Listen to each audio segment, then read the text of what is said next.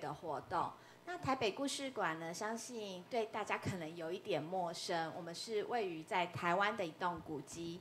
那这栋房子呢，是一九一零年、一九一三年盖的。那现在大家在的文物探知馆呢，比我们大一岁，是一九一二年盖的古迹。那来到这边跟大家做一个文化的交流，主要的原因是因为。呃，台北故事馆的原本乞丐的陈朝俊先生，他是一个大道城的茶商。那台北故事馆从二零零三年开始进行古迹活化再利用之后，我们一直把茶艺推广这件事作为我们一个主要的活动，还有我们的使命。那十二年来呢，我们的主讲人池中宪老师呢，也陪我们一路这样子走过来。那池中宪老师是在台湾非常知名的茶学专家。那他出版的书籍呢，一共有二十多本。那很荣幸呢，他今天也可以跟我们一起到香港。那现在我们来掌声欢迎池中宪老师来为我们展开今天的讲座。大家早安。呃，听不太习惯哈，因为我们这边会讲早上好。啊，就像说你现在看到福摩沙乌龙 t 你会觉得说。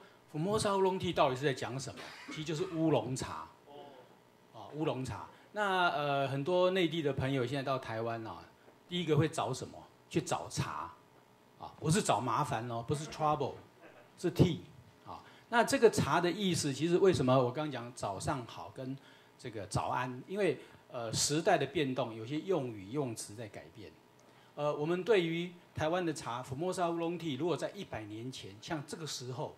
你在纽约的第五大道，你到一个呃吃早餐，那个 waiter 问你说：“请问你要喝咖啡，还要喝 juice 还是茶？”如果你讲说我要一杯福摩沙乌龙 tea，他当然不会跟你敬礼，但是他会觉得你很有品味。为什么？因为那个年代的福摩沙乌龙 tea 是全世界最有名的，而且是品质最高的。所以今天呢，我们很很有意思，就是说探知馆前面我刚一来，我是第一次到这边，我看到几个字很有趣。他说：“你从过去发现未来，了解现在的状态。”其实福摩沙乌龙 T 就可以让我们知道，在一百年前，台湾这样的一个呃农产品，它曾经帮台湾赚了很多很多的外汇。啊，当然那个时候没有所谓的呃中美贸易条款。啊，那。那个的外销的茶其实都到香港。各位，你们在香港要知道，福摩沙乌龙 T 跟我们有非常密切的关系。有一家英美茶庄在一九三二年曾经发行过一个股票，那家茶庄专门卖台湾茶。刚刚我们主持人所提到的台北故事馆，其实陈朝俊先生当年就是把台湾茶再加上花茶。转运到香港，到整个东南亚。那待会呢，我们可以跟着每一件物件，这个物件呢是非常珍贵的收藏。这怎么说呢？一百年前这些茶叶的包装，包括它一个 box、一个纸盒、一个铁盒，里面都是一个时光的记忆，它就是一个印记，一个 mark，让各位去回味。那这些东西呢，里面还发现些什么？各位现在常常在喝的 training。啊，一些国外的厂牌，你们可以看到什么？它上面写的福摩沙乌龙体，有没有人见过？我相信没有。你见过吗？我见过 Trini。啊，Trini，但是 Early Grey 大家都喝过，对不对？但是你们知道，这里面很多的茶叶当时是从福摩沙台湾来的，所以你会觉得说，如果我们今天假设各位是一个喜欢喝茶的人，或对文化很有了解的人，你会。回味那时候的甘甜跟美好，所以我们把这个题目定做福摩沙乌龙 T 的美好年代。好，下面呢我们就来回味一些图像。那这个图像结束以后呢，我们会有很精彩的茶叶给各位看一下。啊，这个茶叶呢是台湾最有名的几个茶叶。那我也很荣幸呢，呃，有两个呃。会来帮我们做 demo 啊，一个是坐在前面现在帮我控管的这个苏敏，他从新加坡飞过来啊，他知道我在办活动，他特别飞过来啊，他来参与啊。那后面还有一个 Pauline 哈，他待会会帮我们示范壶的泡法啊。那我们现在看到这张图，你会觉得很亲切啊。呃，它的脚是什么？小脚对不对？啊，我们那个年代的小脚是一种美。那当然，在现在历史回顾，它是有一点病态美。可是那时候呢，就是代表这个的形象 image 就代表台湾的妇女，那当然也是中国的妇女。那为什么会有一个福摩沙乌龙 tea？？因为当时卖这个茶，这个盒子小盒子哦，是拿来做茶的行销，啊，所以它的符号就用这样的图案。那你可以看出，它头还戴了一个斗笠，他背了一个什么包？这个什么包？不是 Hermes，啊。也不是有一个竹编的，有没有？现在有一个牌子很有名的，啊，其实那个 idea 都从这边来的。这是采茶的，采茶的一个盒子啊，一个一个一个篮子啊，所以我们可以从这个里面看到右边有一些花，那叫茶花，啊，现在有很多化妆品，有没有叫茶花系列？有没有用过？有哈，知道这个牌子啊。所以茶它虽然只是一个饮料，但是它延伸好多东西。来，我们看下一个啊。这个是在当时一本《Harper's》啊，《Harper's》这个杂志非常有名啊，在美国非常有名。它在上面做了一个福摩沙 T 的广告，各位可能不知道吧？《Harper's》这样的有名的杂志上面有福摩沙乌龙 T 的广告，那这里面就写着说这个茶有多厉害。那上面你可以看出欧洲的贵族他坐在那边干什么？品尝台湾茶。可是这个茶呢的滋味怎么样？待会你们可以啊，如果有机会啊，我们有五杯啊，你们要赶快提问啊，优先权是给你们的哈。来看下一个，那呃，这个这个罐这个这个盒子呢非常有趣哈，这个是在一九四零年代留下来的。那这个茶叶呢，它其实上面写一个一磅啊。在这个 Ming，M I N G 是一个一个在 Poston 的一个呃贸易商，他从台湾把这个茶叶运送过去以后，一直留到现在，啊，这个茶叶这个盒子的茶叶，呃，在我在我手上，啊，如果你们有到台湾的台北故事馆，你跟安琪联络就可以找到我，或许我们有缘分，我们可以喝这个茶。啊，现在大家在讲说，呃，普洱茶很厉害，对不对？福元昌、红印、绿印啊，一片都卖到好几百万台币的。那个还有，这个真的只有全世界只有一盒，啊，就一磅而已啊。那上面还有铜钱，有没有？我们以前用的古铜钱。所以今天各位，呃，我们应该是说你大开眼界，因为这些史料在全世界应该是首次公开，很少人看过啊。来，往下看。这个呢，我就是用这个茶叶把它打开。那这个在一个呃，就是世界性的一个节目，它叫 Global Drinks 啊，它在法国的第五电视台，就是他们的公共电视播出。后来这个影片呢，呃，就是以茶为主题，他访问世界五大五个很重要的代表，一个是法国的 Marriage，英呃英国的 Training 啊。呃，日本的伊藤园，还有印度，那中国跟台湾就访问我，而且在访问我的过程中，他拍录了这个场地，就是今天主办的台北故事馆，好，非常非常有历史意义，而且这也可以告诉各位，虽然你们跟台湾可能有人熟，有人不熟，但是我跟各位报告一件事，华人第一次能够要上这个欧洲的电视舞台，这是第一次，而且是在二零一零年。所以今天呢，我们剪辑了很短，大概两分钟的一个小小影片，让各位看一下啊。那这个会很快，因为前面有几个都很重要的人啊，都是世界上做茶最有名的人。当然，我不是做茶的，我是一个喜欢茶的人，跟各位一样。好，我们来看一下。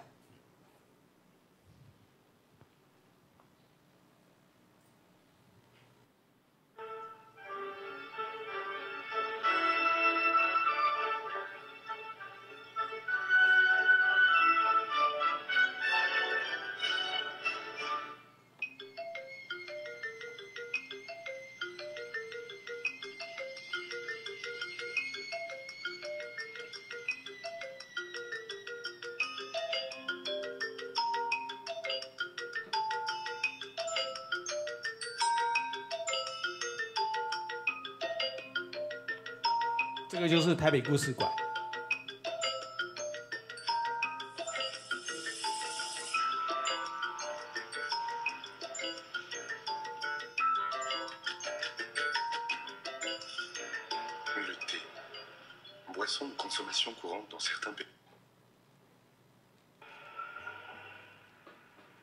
Le nom de plume de Chi Yung-sien est T. Parker. Ce maître de l'art du thé est aussi l'auteur de célèbres livres dans lesquels il illustre l'art de goûter et de servir le thé à des spécialistes enthousiastes.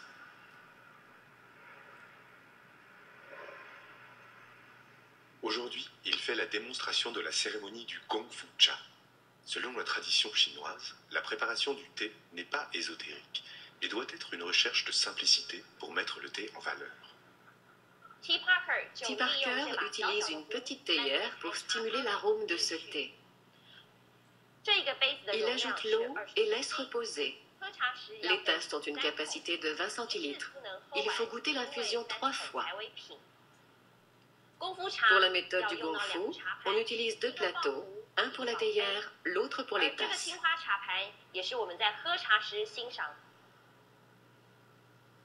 J'ouvre d'abord le coffret.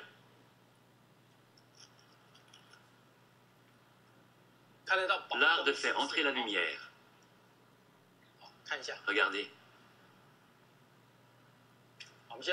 Je verse un peu de thé dans cette tasse. Le thé oolong était à l'époque sélectionné avec beaucoup de soin.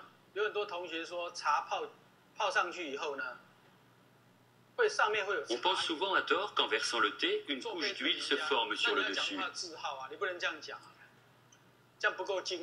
L'importance de la tasse dépend de celui qui l'a faite. Voilà, maintenant je dispose les tasses d'une façon précise. Vous avez déjà vu ça Ensuite, on ajoute le thé de cette manière. C'est un peu comme si les feuilles étaient balayées par le vent.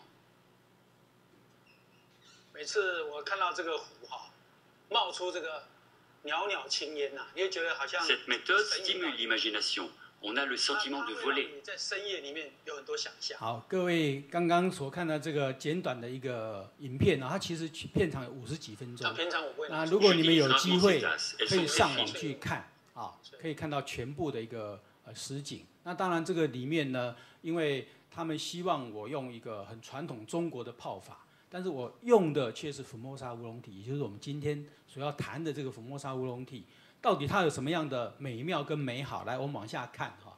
各位看这一张，呃，这也是一个包装盒啊。当时呢，所有的全世界把这个茶的品质，现在我们大家知道的，呃，茶最有名就是大吉岭，对不对？有没有人喝过大吉岭红茶？啊，有嘛哈？大吉岭的 tip 最嫩芽的。可当时呢，这个最好的一个 choice 就是福摩沙乌龙底，那这是。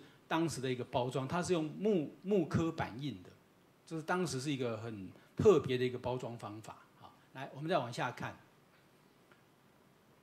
这个就是我们刚刚看到这个在巴黎的一个呃玛丽兄呃马黑，就是玛丽兄弟哈，他们就是一个黑色一个 logo。各位喝红茶应该有看过，有没有看过这个茶叶？有哈，你有喝过哈？那你应该非常有品味哈，因为这个茶卖的很贵。啊，可他的茶，各位要知道一个概念，就是法国不种不种茶，意大利不种咖啡啊，可是全世界卖意大利 espresso，你以为意大利有咖啡吗？没有，法国的这个茶店，这从一八多少年，一八三八年左右，他们就开始做这个茶叶。那这个店里面，刚刚影片你也看到，他的老板被访问，他的二楼也打开一个一个茶馆，那个是从中国外销去的，他们还保留着。所以各位如果有到巴黎去玩，除了看埃菲尔铁塔，记得来这个地方看一下。那它楼它的楼上啊有一个小的博物馆，非常非常精彩，是 free 的啊。那你茶叶不定要跟他买，可以一定要上去看啊。这是呃给各位的一个很好的建议哈。那很小，但是非常重要的一个茶行。往下，那各位看到这个是一个汤匙。一个银的汤匙，你想想看，当时喝茶的银汤匙上面会落一个福摩沙乌龙体，这是什么概念？就跟你现在带个铂金包一样，啊，它是就是一个很高档的东西。那这个汤匙是纯银的，上面既然落了一个福摩沙乌龙体，那这个银呢，呃，是中国外销出去的，而且是从香港、广东这边出去的。那我们可以从这里面看到当时在喝福摩沙乌龙地的品味。那从这个里面呢，我们再延伸去看一个呃，当时做福摩沙乌龙地的一个呃叫 Tea Rooms 啊，就是在伦敦啊，在伦敦有专门卖福摩沙乌龙地的 Tea Room，就是专卖了专卖店啊，所以你可以知道当时这个茶有多么的受到呃欧美人士的欢迎啊，这个都是当时留下来的一些呃。呃，很重要的一些机那个，这个是明信片跟资料啊。来往下，我们今天也会带一些明信片啊，就是当时留下来的，给各位看一看啊。这个在一七零六年呢，有一个很重要的 trainings，这个有超过当时这个茶所选的强调就是福摩沙乌龙体，但你现在再去看这个 training，它上面写的还是一七零六年。可是它就不是两百五十年，那你就知道这个盒子有多少年。啊，你去换算一下，大概这个是八十年到一百年左右，啊，就是台湾当时被这家呃 training 选去当原料的一个佐证。各位有没有人见过？而且跟各位说，这个茶还在里面，还蛮香的，没有坏掉。啊所以很多人说哇，全世界只有普洱茶可以放。我告诉各位，福摩沙乌龙地可以放一百年，还很好喝。啊，当然你们会觉得很讶异啊，但是呃，人类是这样，没见过的，呃，重新发去找到了叫做发明。可是你不知道了，你再看到叫发现，啊，就跟探知馆一样，让你发现啊。下一个利顿，Lipton。啊，Lipton，大家都觉得它很便宜便宜嘛，对不对？一个茶茶 tea bag 小小的，但是各位不要忘记啊，全世界茶这个利顿做的最好的一句话，我不是做最好的，但是我是做全世界品质统一的茶。也就是说，你在北京、上海、广东、纽约、伦敦，你的一个袋子的东西都一样，那这很厉害哦。所以它的产值非常高。但当时他用的，各位看到下面没有？福摩沙乌龙 tea。摩萨乌龙地啊，这是一个当时的见证。那当然，它除了卖 tea、coffee 啊，还有所有的这个可可啊，它都是全世界他去找很好的原料。那它的颜色就是黄跟红，是它的代表一个特别的 logo。到现在还是这样啊。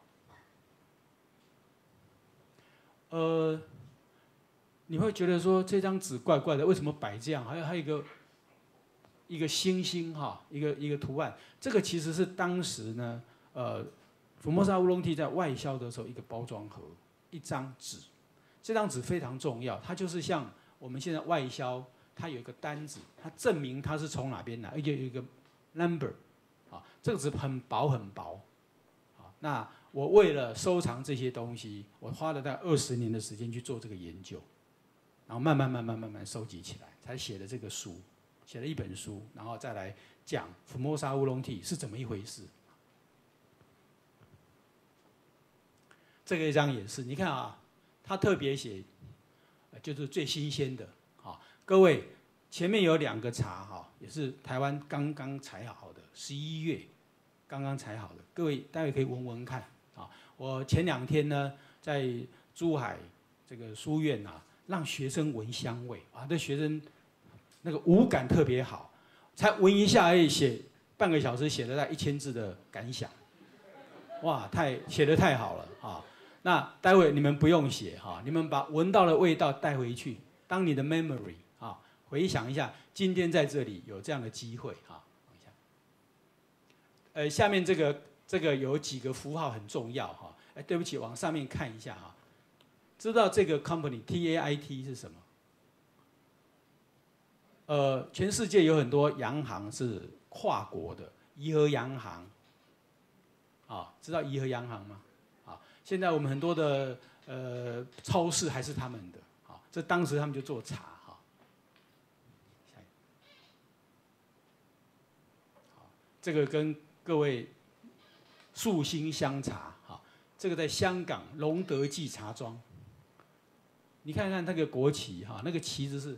呃，北洋政府时代的有没有看到？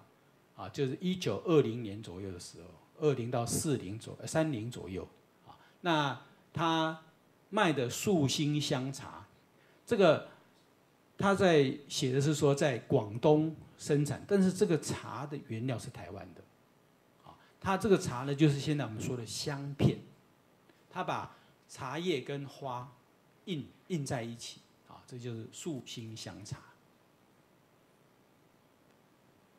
那我们在下面看一个，这个也是跟我们这里有关的，叫美珍茶庄。美珍茶庄有没有人知道它还存在或不存在？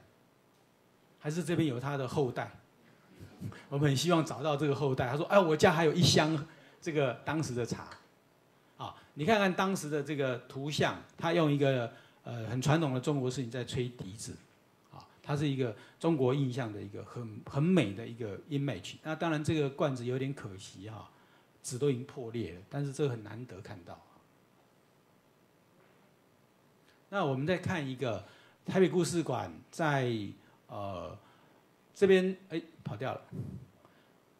台北故事馆的前面哎往前哎对，好哎这张好没关系哈，这个台北故事馆这就是呃。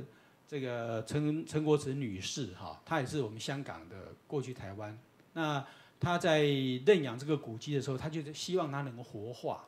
那因为它跟茶有关，所以呃办了非常非常多的活动。我的了解好像是台北的故宫哈那么大的一个 base，第二个流量最大就是台北故事馆。如果你们都还没去过，下次到台湾记得啊。那呃凡事都可以找那个刚刚我们。主持人，好，那这个地方呢，它留下的历史印记有很重要的一些包装，啊，我当然不在故这个故事馆里面已经没有了，是流落在别的地方，我把它收集起来，借这个机会让各位看一下，啊，下面这些包装是茶叶的包装那张纸，啊，第一个你看到陈朝俊选装，他在那个时代呢，他很知道欧洲人的风格，所以你看他用的是法国那个时候那种。美好年代的女生的图像，那你看到他的字，他用英文拼音，这英文拼非常厉害，他不是用普通话，也不是广东话，是闽南语，所以他怎么拼音？那个，来你来念一下，你念。单招准是吧？单雕滚，哦，他是用闽南语去拼音的。那你要想象说，呃，我们现在有汉语，有河洛语，那他用英文拼音，他既然可以用当时的语言去拼，表示他做的够大，不然人家看不懂，啊，这是他的一个 logo 啊，来往下。那这个陈朝俊先生很有趣哈，他在呃当时呢，他就已经知道跟世界接轨，所以我说他懂得蓝海策略。啊，你看看这个，当时莱特兄弟才发明这个滑翔翼飞机，啊，所以我这一次，呃，下飞机场就看到我们，呃，不是飞机场，有一个商场挂了一个这个，在那个餐厅，我看到一个滑翔翼。那这个滑翔翼呢，其实呢，在当时的陈朝俊别馆，就刚刚故事馆旁边，以前在日治时期是一个呃机场。他就看到这样的东西以后，他就把他的产品，把他的人头放在上面。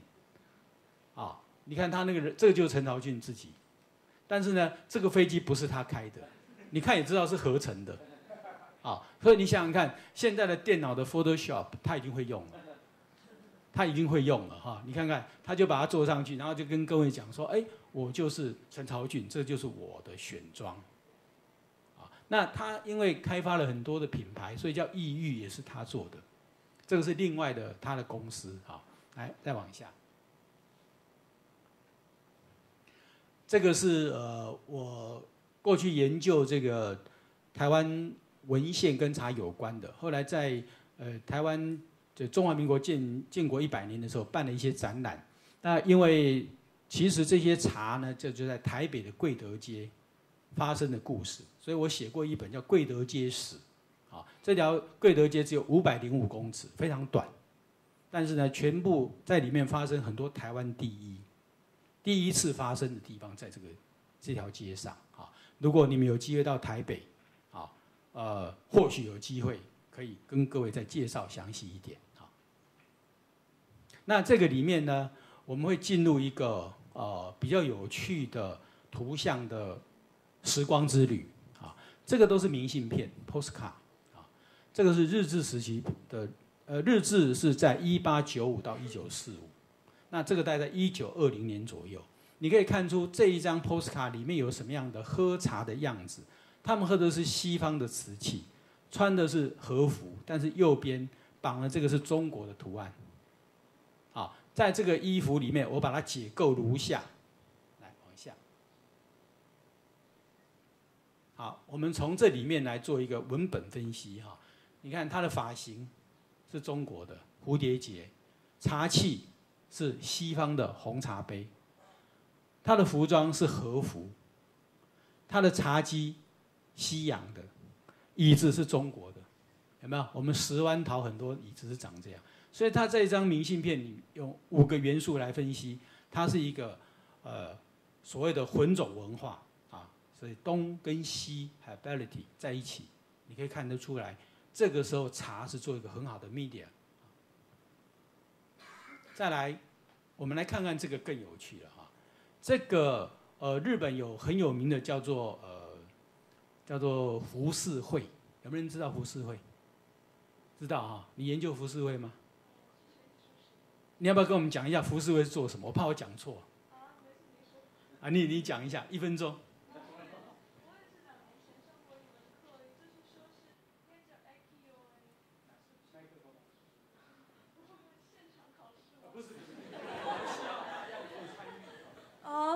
就是学过了一些，说是呃描述当时他们呃一些呃就是歌舞生活的一些版画，然后呃这就是这种风格。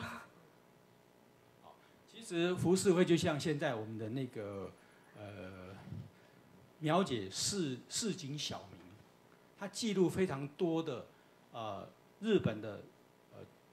正常生活里面的市井的一种百态，所以呢，他们出现了很多很重要的画家。那这些画家影响到欧洲后来的印象派。你如果读艺术史，艺术史就知道。那后面我会告诉各位，有一个非常重要的印象派画家，他喝过福摩沙乌龙体。好，我从这里面去找到他的线索。好，来，我们赶快看哈。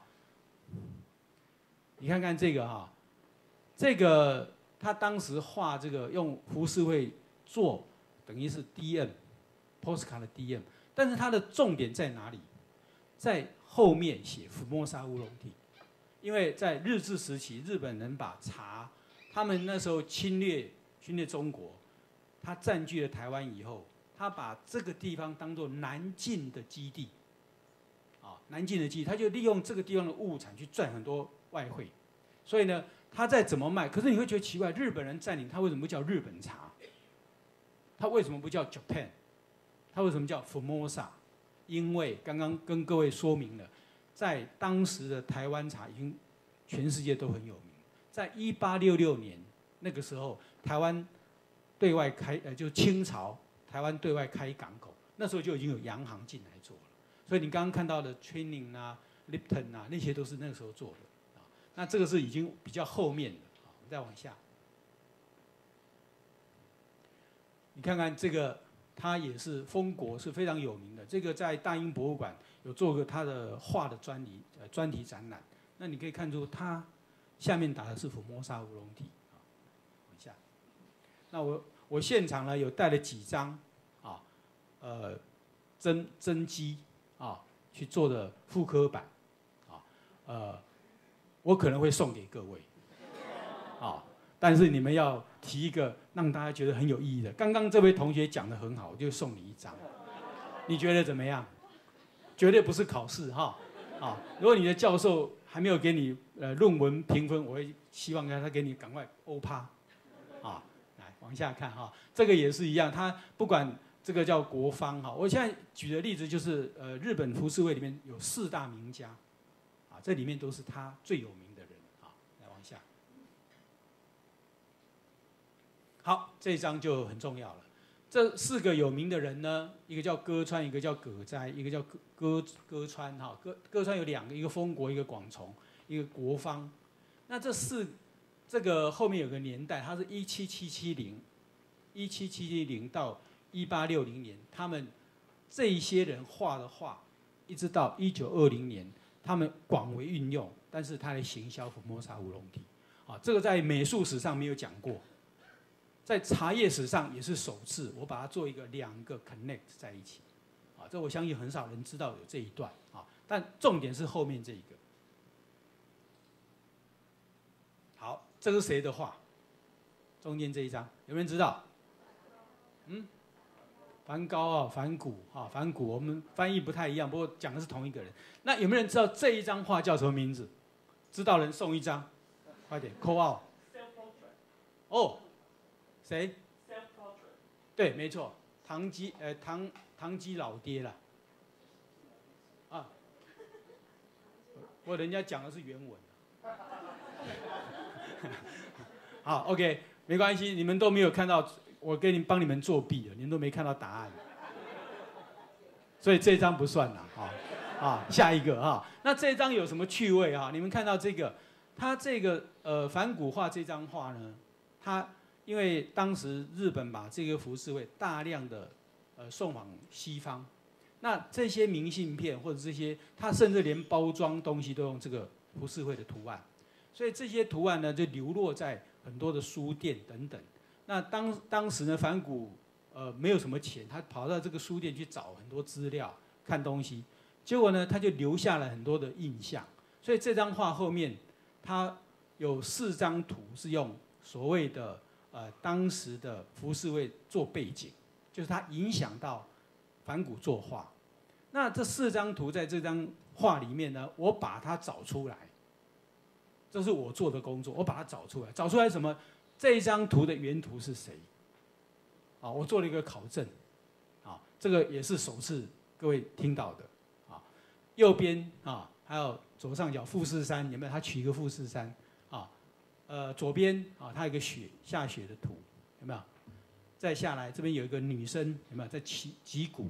啊，那这几张下面都写福摩沙乌龙体，所以我们可以佐证反骨喝过福摩沙乌龙体。啊，当然我没办法去看到反骨这个用的器物是什么，但是你可以看出他当时画这张画，他引用了这么多的元素，他一定有看到下面那几个字。这个是很有趣的一个延伸。那么再看这一张哈，这个是一个扇子，啊，当时他们做行销的时候，他送你一个扇子，上面写福摩沙乌龙体，啊，这个扇子还在，啊，如果你们夏天到台湾，啊，呃，有机会拿给你扇一下，啊，看有没有茶的香味。那后面有名的那个神奈川的一个呃富富士山三十六景啊，这个是呃日本浮世绘里面有名的图案。那他也把它做成一个扇子啊，当做呃一个茶的行销。那我把那个茶乌龙茶泡开，用个青花杯跟它做对应，啊，你可以连接它的颜色跟它的波浪等等。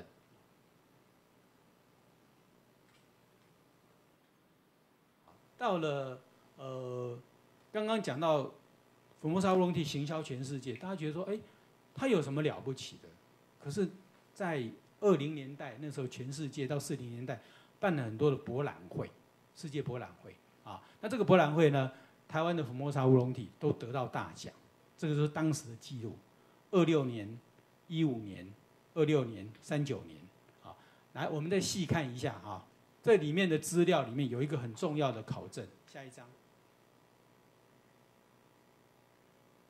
这个考证呢是验证了现在台湾茶的一些前身，也就是说，我们从刚刚这些得奖的茶，大概在二零四零年以后，日据在一九四五结束以后，这些茶呢现在还留在台湾，而且这些台湾从北到南都有各种茶的分布啊。当然这一次。很高兴跟各位相会，所以呢，前面有几个茶，你看没什么，可是它已经代表台湾乌龙茶的一些典范。那我们可以让各位先了解一下，呃，有没有人去过台湾的？请举手。哇，都去过嘛？啊，还是你们都是台湾来的？那有没有买过台湾的茶？有哈。好，那你们今天要听清楚啊！你要买茶，一定要听这个课啊。前面那个是历史，那就感觉一下就好啊。可能跟你很遥远，可是下面很实用啊，非常实用的东西哈。我们从北到南。通常我们到台湾游玩，就是会从北南或者是中部开始哈。北部呢，在台北市或新北市有所谓的文山地区，它主要是产包种茶，还有木栅铁观音、猫空那边很多木栅铁观音。那到了呃桃园桃竹苗就有东方美人茶，到了中部台中南投就是所谓的乌龙茶，那是主要是。现在大家到台湾去买的乌龙茶，大概是产地在这里。然后到了东部，花莲、台东也有，啊，那到了这个往台湾最南端，有没有人知道台湾的茶？做过了浊水溪以南的最远的那个茶区在哪里？赶快注意看啊，上面有写啊。屏东哪里？什么茶？嗯？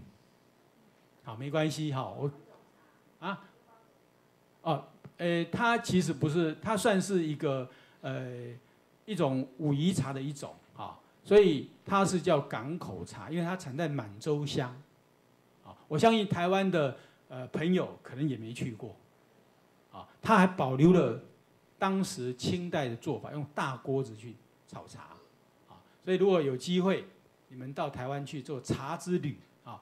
呃，那我也希望在座有做旅行业的人开始去想一个问题：如果你们开始办一个跟茶有关的旅行，专题性的，哎，会很有市场，对不对？因为你们去过，你们都不知道有这些好玩的东西嘛。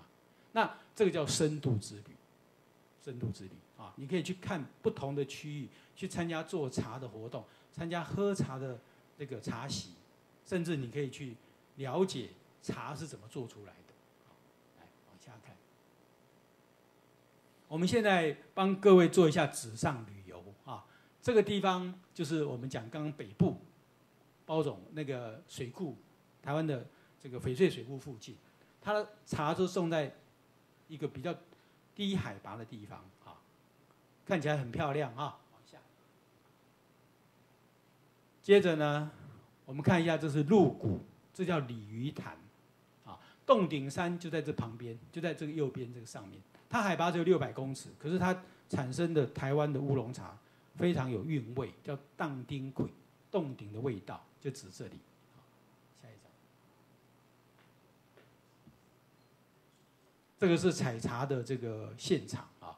呃，上个月台湾有一个新闻说，呃，抓到了几个到台湾探听情报的呃中国的一些人。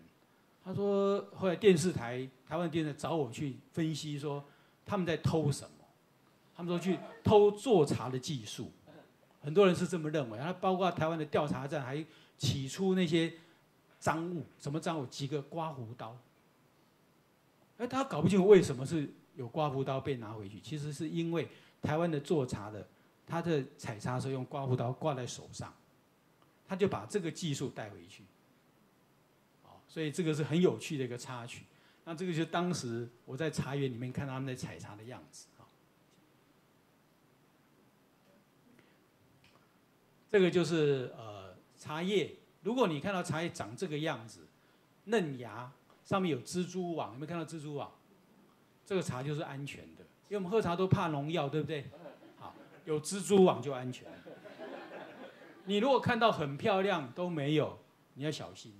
啊，如果你去茶园看，所以我刚刚所以说，如果旅行业的人去用深度跟呃这样的教育的方式去带动，我相信会很有人愿意去的。啊，包括欧美人士都很愿意去看这个东西。好，来往下。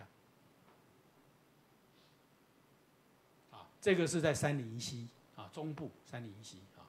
那不同的呃茶区，你可以看出它的林相，向阳面跟背阳面。厉害的人喝茶可以喝出说你的阳光多还少，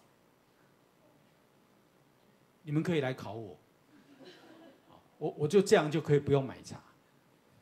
很多人说，哎，你给我喝一下，看怎么样？看那怎么练习？可以练习，可以练习。好，不过你们要想学的话，到台北故事馆才有，这里没办法。我总要帮台北故事馆做一点这个，因为我是他的义务的这个咨询顾问，所以我要 promote 他一下哈。那这个有趣哦，你看看右边那个人是谁？啊，这边可能你们不知道啊，这好像是是不是汤兰花？是汤兰花，很早期的明星啊。那他们包括杨丽花有听过吗？啊，台湾有杨丽花，他也帮茶做广告。那时候茶，现在中国最有名的这个李李冰冰呐，他帮铁观音做广告，那其实一样的意思，在台湾早期就有这样的明星做广告。那这个茶叶呢，是民国大概六十年，一九七零年左右的，啊，包装包这样啊。那这个包装的形制其实跟很多的这个呃过去中国的明代的茶叶罐是有关系的。啊，我们可以有机会，因为我之前有做一些。呃，唐宋元明清的分析，这里面就有出现，像那个莲子罐，有个青花莲子罐，就跟这个很像。这个就是我们讲洞顶呃台湾的茶，焙火比较重的颜色啊。那现在有很多人开始流行喝老茶，老的乌龙茶，其实你可以看出它的梗红红的，那就是后发酵，慢慢慢的发酵。那有些是用焙火。做出来的假的陈年茶，如果你们要去台湾买这些茶，特别注意看，看清楚了哈，那个颜色不能黑，不能墨炭炭炭的味道，要像这样红红的，啊，这才是慢慢的陈化，就是我们跟呃红酒一样的 vintage 的概念。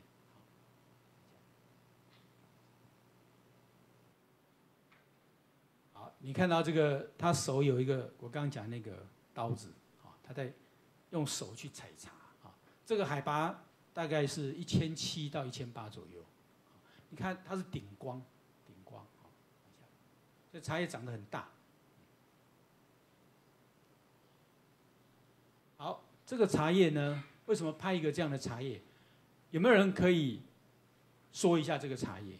我就送他一个明信片。来，昨天你你让给他们。你一定会讲，因为你在台北有跟我学过。来，你昨天有来，我会送你一张了。你你说一下。这是芽头有两个月在树树的茶树的前间，你哪部分最好的茶？哎，他很厉害哈，他一定很懂茶，因为他昨天我在呃另外一场讲茶器应用，他也来了，所以我我我刚认得出来他哈。那那个那一点黑黑的是什么？